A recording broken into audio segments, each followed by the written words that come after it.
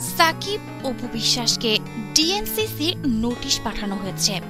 আগামী পনেরো জানুয়ারি ঢালিউড সুপারস্টার সাকিব খান ও চিত্রনায়িকা অপু বিশ্বাসের তালাকের বিষয়ে শুনানি হবে।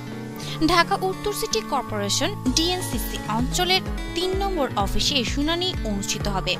এজন্য ইতিমধ্যে সাকিব ও অপুকে নোটিশ জারি করেছে ডিএনসিসি। উত্তর সিটির কর্মকর্তা জানান, গত বছরের বাইশে নভেম্বর সাকিব খান মুসলিম পারিবারিক আইন উনিশশো একষট্টির সাতের এক ধারা অনুসারে তালাকের নোটিশের ডাকযোগে ডিএনসিসির কাছে পাঠান। তাদের সালিসি মামলার নম্বর আটশো উনসত্তর, দুই হাজার সতেরো। এরপরে তারা নিয়ম অনুযায়ী পরবর্তী কার্যক্রম শুরু করেছেন। সে অনুযায়ী আগামী পনেরো জানুয়ারি তাদের শুনানির জন্য ডাকা হয়েছে। এজন্য গত চব্বিশে ডিসেম্বর সাকিব অপুর কাছে শুনানিতে হাজির হওয়ার জন্য নোটিশ পাঠানো হয়েছে। ডাকযোগে সাকিব খানের গুলশান দুই নম্বর বাসাতে এবং অপুর নিকেতনের বাসার নোটিশটি পাঠানো হয়েছে। ডিএনসিটি অঞ্চল তিনের আঞ্চলিক নির্বাহী কর্মকর্তা ও নির্বাহী ম্যাজিস্ট্রেট মোহাম্মদ হেমায়ত হোসেন নয়াদিগন্তকে বলেছেন শুনানির দিনে যথারীতি তাদের বক্তব্য নেওয়া হবে।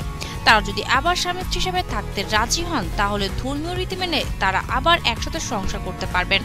আর যদি তারা একসঙ্গে সংসার করতে না চান, তাহলে তাদেরকে আরও দুইবার নোটিশ দিয়ে শুনানি করা হবে। এর মধ্যে তারা নিজেরা মিলমিশ করতে চাইলে ধর্মীয় রীতি মেনে তারা তা করতে পারবেন। আর তা না করলে তিনবার শুনানির পর নিয়ম অনুযায়ী তালাক কার্যকর হয়ে যাবে। অভিনেতা সাকিব খানের সাথে নয় বছর আগে বিয়ে করেছিলেন অপু বিশ্বাস। তাদের একটি সন্তান রয়েছে। সাকিবের ক্যারিয়ার কথা ভেবে এতদিন অপু সন্তানের কথা প্রকাশ্যে আনেনি, জানিয়েছেন অপু। তারা স্বামী স্ত্রী হলেও আলাদা বাসায় থাকেন বলেও উল্লেখ করেন অপু বিশ্বাস। এমনকি তাদের সম্পর্কের মধ্যে আরেক অভিনেতা বুবলির প্রবেশের বিষয়টি জানান তিনি। পরে বুবলিকে নিয়ে সাকিব উপর দ্বন্দ্ব, চরম আকার ধারণ করে। এর প্রেক্ষিতে গত বাইশে নভেম্বর অপু বিশ্বাসকে তালাকের নোটিশ পাঠান সাকিব খান। তবে বিভিন্ন সময় অপু বিশ্বাস গণমাধ্যমে বলেছেন তিনি সাকিব খানের সাথে সংসার করতে চান। সন্তানের ভবিষ্যতের কথা ভেবে প্রয়োজনে কিছু ছাড় দিতে হলেও সম্পর্কটি অব্যাহত রাখার পক্ষে আছেন এই অভিনেত্রী। দর্শক, এখন দেখার অপেক্ষা। পনেরোই জানুয়ারি কি হতে চলেছে? এ বিষয়ে আপনার মূল্যবান মতামতটি কমেন্টের মাধ্যমে আমাদের সাথে শেয়ার করতে পারেন। এবং আরও সব লেটেস্ট আপডেট নিউজ জানার জন্য আমাদের চ্যানেলটি সাবস্ক্রাইব করে আমাদের সাথেই থাকুন।